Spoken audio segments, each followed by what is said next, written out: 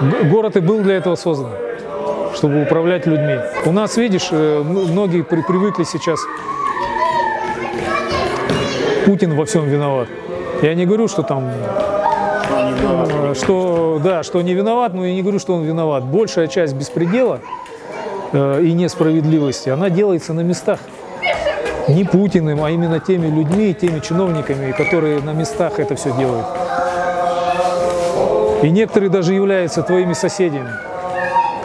А у нас получается так, то, что делают, э, беспредел чинят э, на местах люди, почему-то везде виноват в этом Путин. Вот мне вот это вот всегда непонятно. Почему? Он взял на, на себя ответственность как бы за страну, по. Я, я понимаю, если бы у него не было вообще власти. Он же вы, выстроил же параллельная структура власти. Параллельная. Государство, а есть еще у него и параллельная структура власти. Понимаешь? И эта параллельная структура власти тоже работает нормально. Плюс я уже молчу там за спецслужбы и за все остальное, конечно.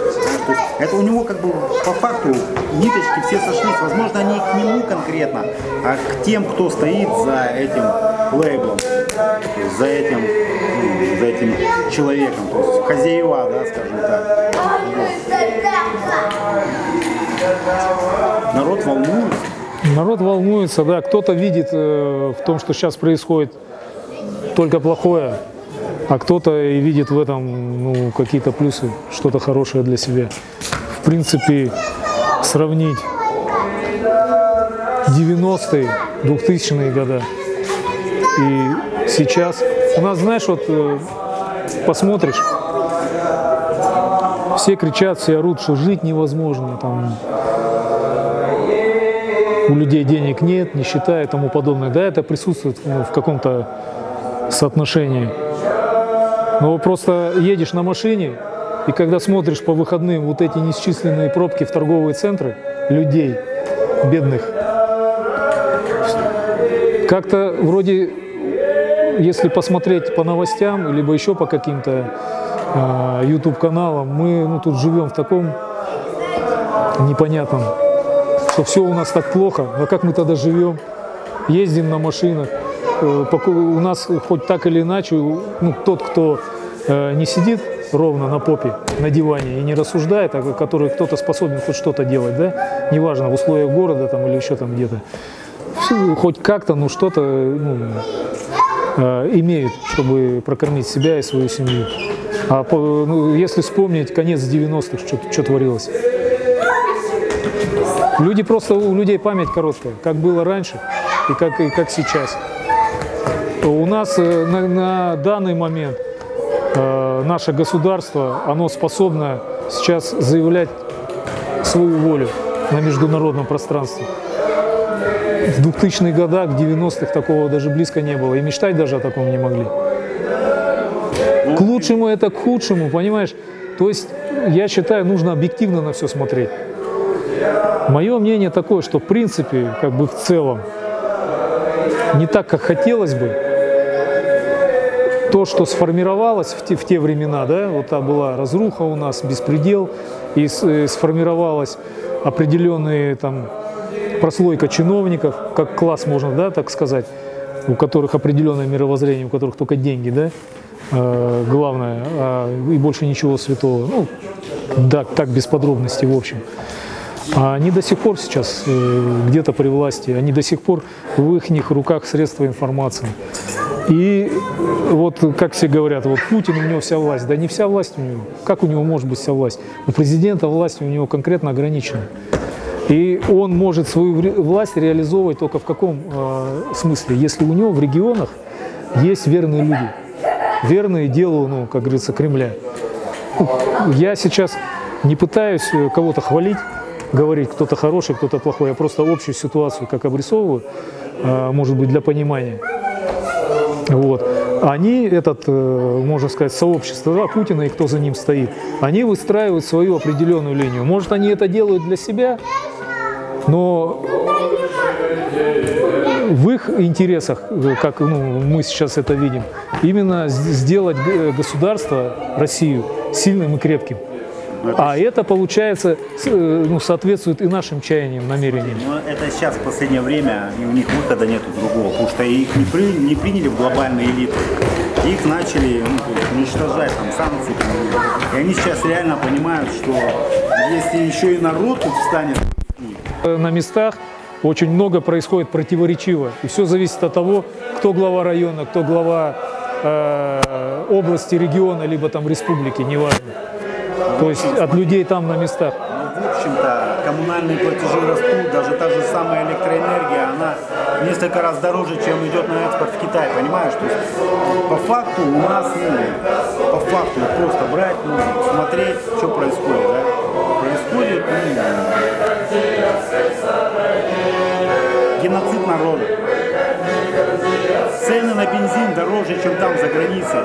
На наш бензин за границей дешевле. Понимаешь, то есть электричество в несколько раз там за границей дешевле, чем у нас. То есть мы оккупированы. И власть, она и народная. В 90 это было вообще уничтожение там. То есть, как там вообще, ну, не- ну, нас, местных элит вообще не было. Все просто уничтожалось. И вывозилось. Да, а сейчас как бы немножко как бы элиты, ну, местные наши, они немного так понимают, им там пары везде, ну, то есть им там капиталы прикрыли, да, начали капиталы забирать, они начали капиталы сюда возвращать и начинают что-то, стараются делать для народа. Потому что там они не нужны, они так думали стать глобальными элитами, английскими лордами. Они там не нужны, понимаешь, никому. И против них сейчас санкции применили, и они пытаются как-то тут усидеть на стуле, вот здесь вот. И поэтому они что-то пытаются для народа делать, но пока не видно, что они делают. Ну да, согласен. какое-то производство здесь, да, какое-то производство здесь осваивают, но для народа они ничего не делают. А народ-то, народ-то волнуется. И те же самые силы Запада, они заинтересованы, чтобы народ поднялся бы и снес эти элиты. Тогда будет еще хуже, сотни раз. Понимаешь? Э, Сейчас, э, я считаю, порядок он не идеальный, но он есть. И как вот есть многие горячие головы зовут на баррикады, я, я считаю, этого делать категорически нельзя. Потому что если, видишь же, идут всяческие попытки специально сколыхнуть народ. Если народ сколыхнется, события 17 года и последующая там гражданская вот эта вот э, междуусобная, когда брат на брата, на- нам покажутся, как говорится, цветочками. Потому что будет намного хуже, намного больнее. И мы уже вряд ли, наверное, оправимся. Мы, ну, русичи, славяне, уже вряд ли оправимся после этого. Поэтому нам нельзя этого допускать. И я говорю, в первую очередь, вот надо сейчас вот снизов. Снизов, ну, в хорошем смысле. То есть не ждать от кого-то чего-то, вот, а формировать самим. Надо поменьше пылить, по ней поменьше тратить свои силы, да, и внимание вот, вот на то, что вот это сейчас происходит. Критикуй это, не критикуй, э, лезь в этот в с головой, ты там и сгинешь. Нужно как бы иметь, ну, как бы другой подход, именно вот снизу вот это все делать. Во-первых, начинать с себя, со своего круга, со своей семьи, искать единомышленников, искать э, с теми, с кем ты можешь находить общее среди единомышленников, потому что у нас единомышленники, мы все э, как бы хороши друг для друга, когда мы э, на каком-то расстоянии друг от друга, и каждый занят по своим. Только мы пытаемся во что-то одно объединиться, у нас это не получается. Потому что очень много, у одного одни амбиции какие-то свои, другие. Тут друг друга не слушаем и э, не можем До 17 года в царской России. Там вообще за частушку сажали в тюрьму. Там тоже была церковь РПЦ, вела жесткую борьбу с русской культурой. После 17 года там же по факту там крестьяне поддержали всю эту тему, но потом крестьян отодвинули. Отодвинули в сторону крестьян, рабочих народ, все, сюда зашли там и англичане, и китайцы, японцы. Понимаешь, зашли сюда. И вот как ты сказал, что да, если революция новая начнется, то будет еще хуже, чем тогда. Тут народ вырезали целыми деревнями. русские, на- как революционеры, они так и говорили, что наша задача вообще уничтожить русский народ. После 17 года было еще жестче. Вообще культуру уничтожали не только русскую, полностью вообще все там уничтожали, понимаешь? Там даже жены вообще были. Ну, Когда это, троцкизм был, это уже у Сталина, так скажем, Сталин, когда перехватил власть, уже в 30-х годах, и он перехватил, он начал какой-то там ну, порядок устанавливать, там, ну, по крайней мере, остановился геноцид. Вот. Я к чему? К тому, что нам реально революция сейчас, ну вообще не вариант. Многие даже говорят, что если сравнивать те года, то мы, в принципе, сейчас привольно живем. Можно землю взять, можно заниматься там. Детей хочешь воспитывать по-своему, пожалуйста, вон, домашнее образование. Нет, да, есть свои препятствия, есть ну, много ну, таких вот неудобств, беспредела и несправедливости, но можно что-то делать в этом, во всем. И вот э, мое мнение, что нужно поменьше в это во все лезть, во- ну, то, о чем мы сейчас говорим, то, что сейчас происходит. Вот. Но смотри, политикой, политикой нужно обязательно заниматься, потому Ну, что заниматься надо. инородцы, если захватят, ну, ну, как ну, если они будут у власти в нашу, то тут ну, через несколько лет ну, вообще ну, от Руси ничего не останется. Вот понимаешь, у нас получается, вот есть вот э, сформированная система, да, властных структур, исполнительной власти. И это, ну, колесо такое определенное, что, в принципе, оно по-другому функционировать не может. И что-то там изменить, э, туд- туда лезть, ну, только обломаешь себя, жизнь свою, жизнь своих близких. Поэтому у нас нам надо параллельно вот, э, разбираться, смотреть, вникать и э, формировать именно свое вот это вот сообщество. Нам не нужны никакие флаги, нам не нужны... э, Если кто-то чем-то занимается, каким-то направлением, да, он там выбирает себе, э, например, если это какая-то организация патриотическая, какие-то вымпелы, флаги и все остальное. А нам вот лично, э, как мы просто должны понимать, что нам нужно это делать. Нам нужно искать общее, учиться взаимодействовать. Как никогда. Одна из проблем – нет единства. Ну, в информационное пространство много вбрасывается раз- различного толкований, что у нас и как происходит. И люди порой, по- э, не вникая в глубину, э, поверхностно, только на это смотря, принимают это все для себя и э, начинают этому следовать, свое мировоззрение на этом строить. И порой получается, что элементарно даже договориться между собой никак не можем. Ты ни разу такого не встречал? Мы даже собрались на Купала, поехали в Комсомольск, ну, нас пригласили с Игорем Борисовичем из Владивостока. Все, мы приехали, собрались братья-славяне, вот, мы приехали отсюда, с Владивостока, с Находки, они с Комсомольска. Они постояли, посмотрели, сказали, не, вы неправильно там славите. Пошли, разожгли свой костер, начали там по-своему ну, слава роду кричать. Ну, да, вот этого, к сожалению, хватает. Я это не воспринимаю. Я даже когда в начале своего пути познания культуры, традиции наши, я как-то, ну, мне хватило разумения не уйти вот в эту категоричность, в эти суждения, у кого что не так происходит. Я считаю, ну, как бы не в этом суть. Самое главное, это, во-первых, внутреннее состояние человека. Кто как там славит, это дело каждого. Правильно, неправильно, ну, какая-то обрядовая вот эта последовательность. Э, Очень много людей, которые правильно славят, а в жизни они ведут себя крайне непорядочно. Э, Как говорится, славянами только называются. Вот, по, по большому счету, по своему. Вот, и поэтому не в славлениях дело. А славить, да, это надо, как бы дань уважения предкам на праздниках, как-то за- заж- зажечь костры мыслями, какими-то словами, обратиться к предкам, к роду своему. Но в первую очередь человек должен реализовывать себя через действия, я считаю. Вот, и подкреплять э, именно свои мысли, то, на что он стоит именно действиями, так или иначе. Чем бы он там ни занимался, понятно, что многим сейчас быт, э, социальная среда связывает руки, особенно те, кто в городах живут.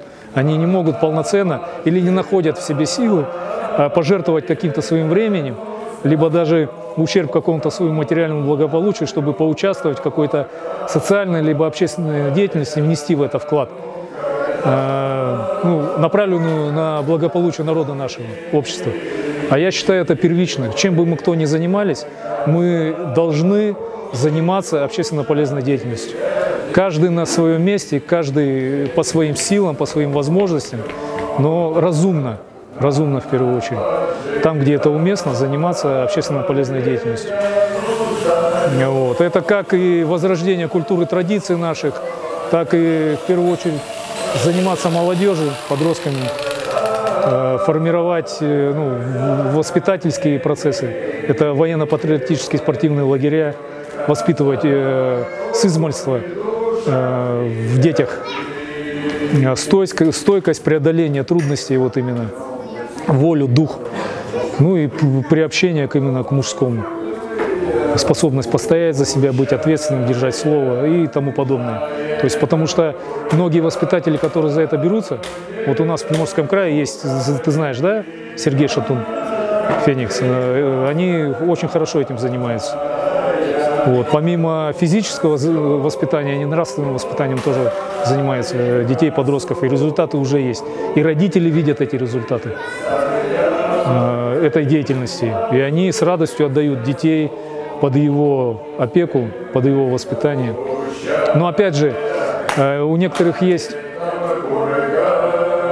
такое мышление немножко неверное. Они считают, что вот я сейчас отдам своего ребенка, и там э, за меня его перевоспитают.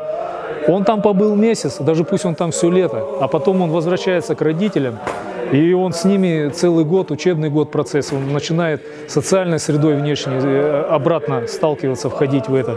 И если родители сами не продолжают эту линию воспитательную, вот как правильно воспитывать э, подростков, мужчин, как воспитать женщину, то, ну, как говорится, многое оно сходит на нет. Что-то остается, какие-то зачатки, задатки. В первую очередь это все равно ответственность родителей, воспитание детей. То есть больше уделять времени детям, э, а не работе и карьере, как многие это делают. Видишь, городская среда, вот мегаполисная, она и создана для того, чтобы родители где-то работали, а кто-то занимался воспитанием. Но этот кто-то, естественно, он оказывает просто сферу услуг, и он это просто за, за денежку делает, и он делает, как правило, это по созданной системой э, методички, понимаешь? Там как бы никакого воспитания по факту нет, а есть деградация и разврат. Безусловно, да, я согласен, что в городе многое сделано так, что человек или родители, они не могут полноценно уделять время детям, проводить с ними время, уделять воспитанию. Город и был для этого создан, чтобы управлять людьми, чтобы, чтобы люди здесь были зависимы от всего. По большому счету, человек же в городе, если объективно смотреть, он сам себе не принадлежит. Он зависит от всего. То, что он является, к примеру, э, считает, что у него там квартира собственности, э, так собственности что? Только стены. Вся система жизнеобеспечения – это не его. Он за это платит деньги. Дали, не дали электричество. Какого качества привезли продукты в магазин.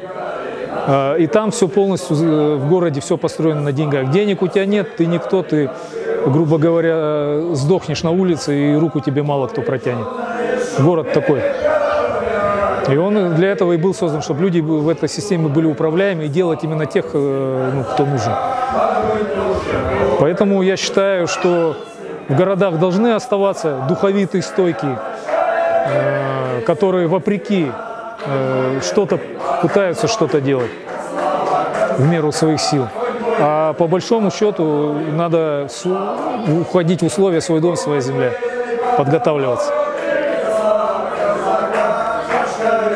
В условиях «свой дом, своя земля» я считаю, человек, э, он также зависим, но он более независим.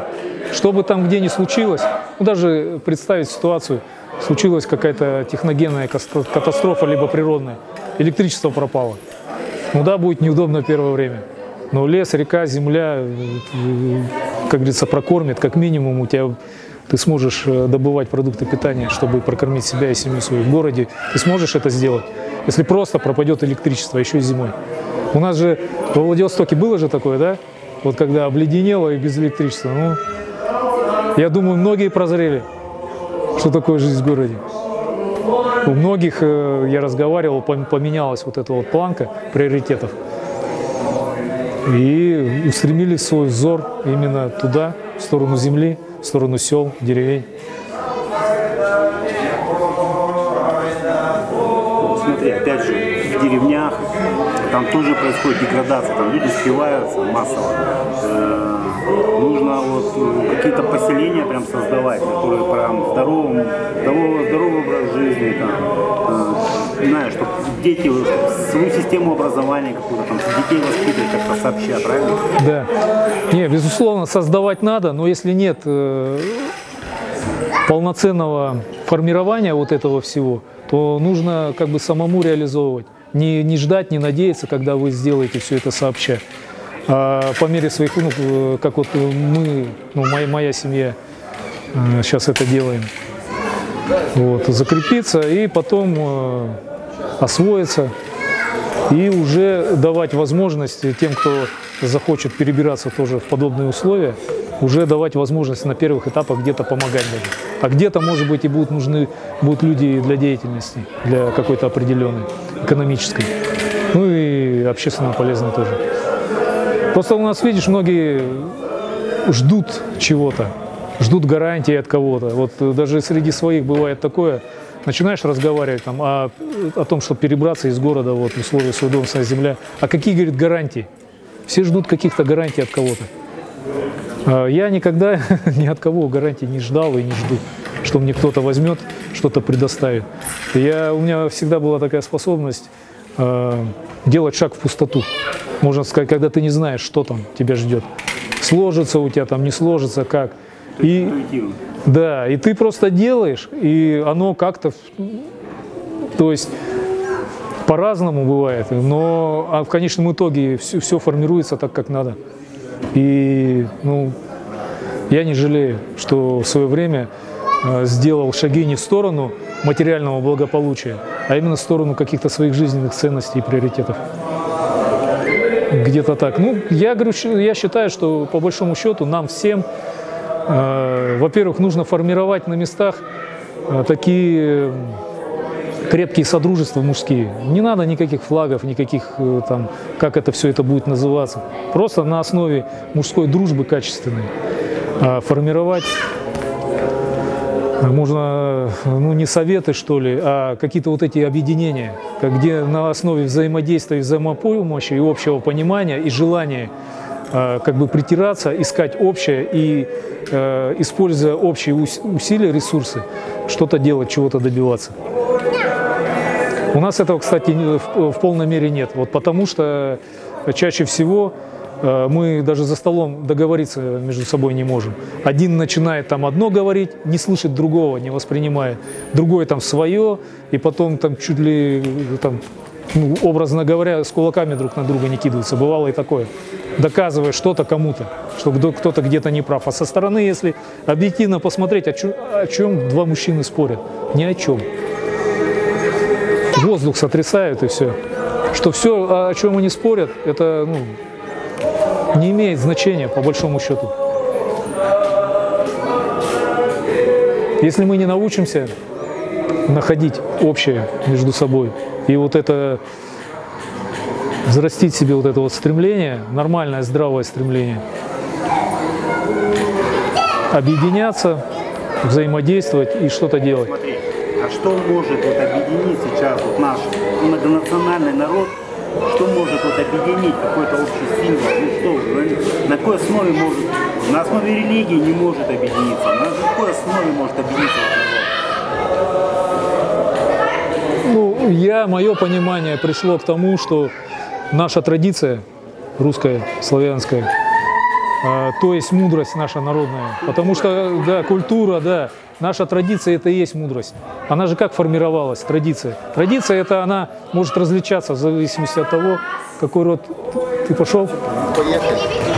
Можно объединяться, но невозможно объединить, когда ты видишь, что нету точки соприкосновения, то лучше отойти в сторону и идти своим путем, потому что ничего хорошего путного не получится. Хорошо, можно мы будем как Феникс двигаться?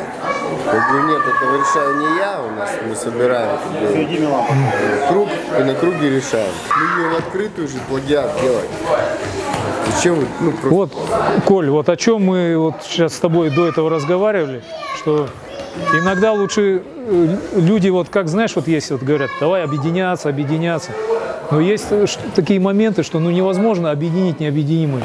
Если ты много разных людей, и они не воспринимают, не хотят слышать, прислушиваться, и есть многие, которые не могут идти вместе с кем-то, то лучше самому делать, не, не оглядываясь. Символ объединения, я считаю, ну, да- далеко ходить не надо, искать. Культура наша, традиции, это и есть основа. Э, Я когда познавал, вникал, разбирался, что такое наша традиция, культура, я просто понял, что прак- пр- практически ну, в ней есть ответы на все вопросы. Вот эта традиция формировалась, это как мудрость народная. То есть из поколения в поколение все лучшее оставалось, все, что было понятно, просто и эффективно, все оставлялось. Э, А то, что было сложно к восприятию, неприменимо к реальной жизни, отметалось как ненужное. И вот это вот, как говорится, самое лучшее передавалось детям, потомкам, а дети через свой жизненный опыт это пропуская, добавляли своим и передавали другим. Поэтому, в принципе, если человек, он следует э, традиции культуры нашей, русской, славянской, э, она сама по себе воспитывает в подростке, во взрослом человеке все вот эти необходимые качества. Это здравое понимание, это дух, это воля, это ответственность, ну и понимание вообще э, событий, происходящих вокруг тебя, и помогает найти свое место в, в- в этом всем. Смотри, ну сейчас же у нас много всяких религий. Плюс современная молодежь, она вообще далека и от религии, и от культуры. Кто-то в телефоны там рубится, кто-то там наркоманию. Да, ну, к сожалению, данность такая, что направлений разных много, и у этих направлений и последователи по- почему-то находятся. Жизнь меня привела к пониманию, э, спокойному, рассудительному и разумному подходу ну, вообще ко всему. И к своим действиям, и к, к восприятию окружающего. То есть вот это вот э, критиковать, кто, где, что, как происходит, э, в, в этом смысла нет никакого. То есть ты тратишь себя, тратишь, опять же, свое время, свои силы, непонятно что, то, что ты изменить э, ну, в глобальном варианте значимо ты не можешь. И в первую очередь нужно менять, начинать с себя, своей семьи, э, и потом, вот э, как круг расширяется, семья, потом дружеское вот сообщество. И всегда же, когда ты начинаешь каким-то путем идти, всегда тебе жизнь предлагает людей соответствующих. А там уже зависит от тебя, насколько у тебя хватит разумения с этими людьми пойти дальше, либо какое-то время пройти вместе и пойти потом опять дальше своим путем. Вот Я считаю, как бы сейчас не следует и не надо э, вот это вот взращивать э, и расширять в себе вот этого неприятия, ненависть, вот эти вот негативные именно чувства. Потому что они прикрывают сознание человека и не дают ему как бы объективно воспринимать и здраво воспринимать ситуацию и понимать ее. Когда у человека гнев, когда у человека негатив, когда у человека неприятие, он только, у него вот так вот сужается все, и он только вот этим увлечен. Он другого не видит, другого не знает. Просто смотри, Русь, она чем отличается? Тем, что а, власть у нас, власть, если, допустим, за границей, где-нибудь в Америке, то бизнес формирует власть, понимаешь? Бизнес. Допустим, какие-то бизнесмены собрались и выдвинули своих политиков, и они начинают формировать власть. Капиталисты. То у нас в России, у нас получается власть, власть, кто захватил власть, тот и формирует бизнес, понимаешь? А чей бизнес раньше был, губернатор он зашел, он всех смел, всем своим раздал тендеры, у нас от власти очень много зависит. понимаешь? И поэтому у нас во власти должны быть наши силы, светлые. На наших там так или иначе, да, должны быть. Но я считаю, на данном этапе пока э, я наблюдал со стороны, много было попыток у моих знакомых, которые туда шли и пытались там что-то изменить. И потом, выходи, вых- выходя оттуда, просто говорили, что что-то там менять, там уже настолько все этим пронизано, это ну, просто бесполезно.